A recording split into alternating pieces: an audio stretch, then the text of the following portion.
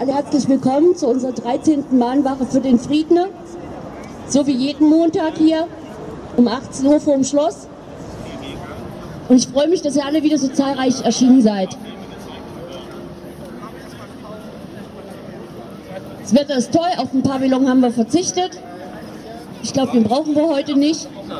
Und ansonsten ist äh, in der letzten Woche einiges passiert bei uns, da werden wir euch gleich drüber berichten. Und weil wir wollen jetzt einen Schritt weiter gehen. Nicht mehr nur hier stehen, jeden Montag, sondern auch etwas tun, aktiv werden. Und dazu wird euch Rick gleich ein paar Worte sagen. Was mir noch am Herzen liegt, es ist jetzt die Nachricht rausgekommen, dass Polen Aufmarschgebiet wird für Zehntausende von NATO-Soldaten, von US-Soldaten und dort wird auch eine Militärbasis angelegt. Dort werden Vorräte gelagert, um einen schnellen Krieg führen zu können. Gegen wen sich dieser richten wird, können wir uns alle denken. Und ich mache mir ganz große Sorgen. Und deswegen, ich bitte alle, auch die, die hier vorbeikommen, macht euch ein eigenes Bild. Glaubt nicht, was im Spiegel steht, in der Bildzeitung oder sonst irgendwas.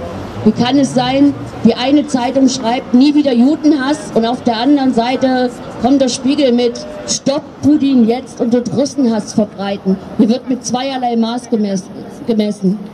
Egal ob Jude, Muslim, Christ, Israeli, Palästinenser, Syrier, Iraner, Russe, Deutscher, Däner, Amerikaner.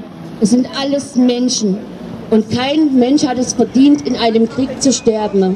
Und darum stehen wir heute hier oder sitzen hier. Für Frieden, für Freiheit und für Gerechtigkeit. Danke.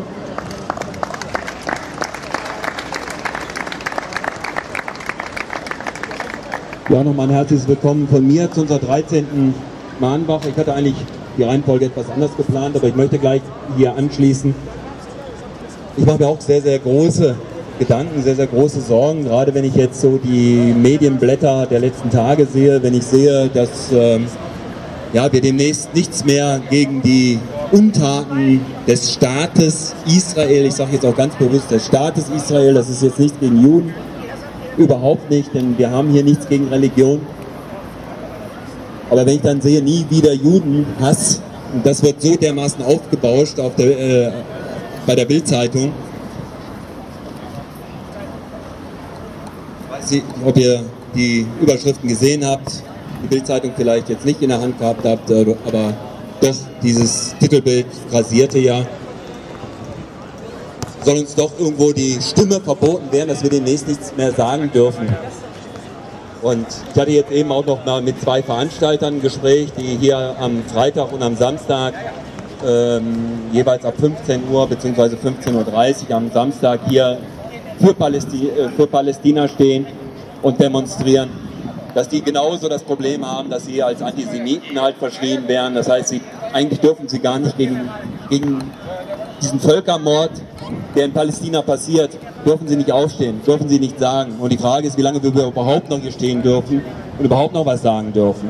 Und die Frage ist auch, wie lange alles noch gut geht. Nicht nur, dass hier Basen in Polen aufgestellt werden, sondern ähm, dass also hier B-52-Bomber der Amerikaner hier in Europa stationiert werden und ähm, das hat es seit zig, zig, zig Jahren nicht mehr gegeben.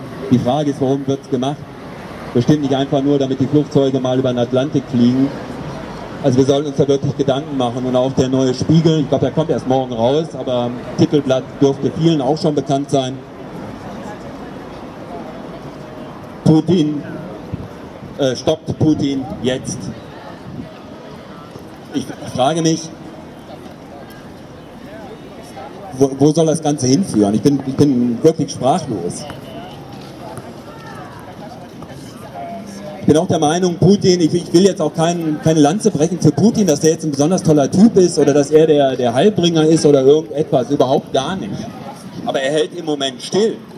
Und er hätte, er hätte allen Grund gehabt, für sein Volk einzutreten, militärisch einzugreifen, die russischstämmigen in der Ostukraine dort zu beschützen, aber er hat bis jetzt stillgehalten. Aber es wird immer weiter Kriegspropaganda betrieben gegen Russland. Und die Frage ist, wie lange Russland überhaupt da noch stillhalten kann. Und ich mache mir da ganz, ganz ernsthafte Gedanken, ich mache mir da ganz ernsthafte Sorgen, was passiert. Und das ist hier öfters auch schon mal gefallen, auch in den letzten Wochen. Denn wenn es knallt, dann knallt es hier bei uns. Denn die amerikanischen Atomwaffen lagern hier bei uns. Und wenn, dann werden die von hier abgeschickt. Und wo wird der Russe sich natürlich verteidigen? Er wird natürlich versuchen, hier die Basen zu treffen, hier bei uns. Und dieser Krieg wird wieder mal nicht zwischen den Parteien ausgeführt werden, der wird nicht in Amerika und der wird auch nicht in Russland ausgeführt, sondern es wird hier auf unserem Boden wird es ausgeübt. Und wir werden die Betroffenen sein. Und deswegen kann ich nur alle bitten, die, die, die das hören, die sich mal Gedanken darüber machen, was ist in unserer Welt los, dass sie sich einfach zu uns gesellen. Wir sind jeden Montag um 18 Uhr hier. Wir werden so lange montags um 18 Uhr hier sein, solange wir hier stehen können. Und wir werden alles Mögliche versuchen, die Menschen aufzuklären. Denn ich denke, das ist die einzige Möglichkeit. Umso mehr Menschen aufgeklärt sind, umso mehr Menschen wissen, was geht hier ab, umso eher können wir was tun oder überhaupt etwas tun. Aber nur, wenn wir zusammenhalten.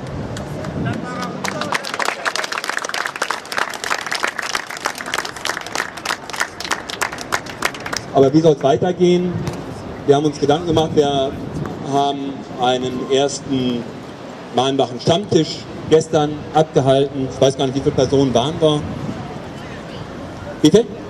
14. 14 Personen waren wir und ähm, hatten also einen schönen Nachmittag und haben einfach auch mal geschaut, was können wir tun, wo soll der Weg lang gehen und wir wollen halt nicht nur hier stehen und demonstrieren, sondern wir wollen eben halt auch was, was für uns tun und einfach schauen, was wir machen können und daraus äh, sind mehrere Arbeitsgruppen entstanden, an die sich jeder auch beteiligen kann. Ähm, die sind also alle offen, sind alle frei und jeder hat die Möglichkeit, dort auch sich mit zu beteiligen. Eine Arbeitsgruppe, äh, die wir beschlossen haben, ist also einmal Presse und Promotion. Das heißt, wie können wir an die Presse rangehen, um vielleicht auch mal positive Sachen über uns verbreiten zu lassen? Wie können wir an Menschen rantreten? Und hier ist ja auch in den letzten Wochen auch schon mal immer wieder gesprochen worden vom morphogenen Feld. Und nur mal zwei Beispiele, was so, was so passiert, wenn man sich mit Sachen beschäftigt. Das eine ist unser Jan Hendrik, der war ja auch mit in Berlin am 19. und der ist ja ein paar Tage hergefahren und war dann an dem Montag leider nicht hier zum Videofilm. Und ja, schon meldet sich ein Alexander hier aus, unserem, aus unserer Gruppe und sagte, na, ich kann doch filmen. Also es war sofort ein Ersatz da. Wir haben uns gestern mit der Thematik beschäftigt, wie können wir an die Presse rantreten. Heute kommt jemand ein Reporter von Radio Ockerwelle. Nicht der größte Sender, aber zumindest hier für unsere Region doch ein Sender. Und der auch sagt, er wird hier neutral darüber berichten. Wir haben Interviews gegeben und ich bin da ganz gespannt, was dabei rauskommt. Also wenn man sich mit den Sachen beschäftigt, dann passiert auch etwas. Wir müssen nur anfangen, etwas zu tun. Und das sind, wie gesagt, schon mal hier die Arbeitsgruppen. Weitere Arbeitsgruppe ist Bewusstsein und Mentaltraining, also wer genau sich mit diesen Themen einfach mal auseinandersetzen möchte. Also vielleicht mal ganz kurz zu den Treffen, also Presse und Promotion, wer da Interesse hat, da treffen wir uns am Sonntag, den 3.8. um 16 Uhr bei Michael im Garten. Ich hoffe, das Wetter ist wunderschön, dann können wir uns auch wirklich draußen hinsetzen, aber ansonsten ist auch dafür gesorgt. Bewusstsein, Mentaltraining werden wir am Freitag, den 15.8., das ist bei Jasmin, dann haben wir äh, eine Arbeitsgruppe Ernährung, Selbstversorgung, Notversorgung, weil wir uns einfach auch mal mit den Themen auseinandersetzen wollen, wenn hier was passiert, was können wir tun. Das ist am Samstag, den 2.8., das ist bei Patricia und bei mir. Dann haben wir noch mal eine Arbeitsgruppe Umwelt und Klima. Das ist am Montag, nächste Woche Montag, äh, bei Mika und dann nochmal eine Arbeitsgruppe Wirtschaft und Geldsystem. Und die, die Leute, die sich dafür interessieren, die, die treffen sich im Anschluss an die Mahnwache und verabreden sich, wo sie hingehen, um da mal den ersten Austausch zu machen. Wie gesagt, die Gruppen sind offen.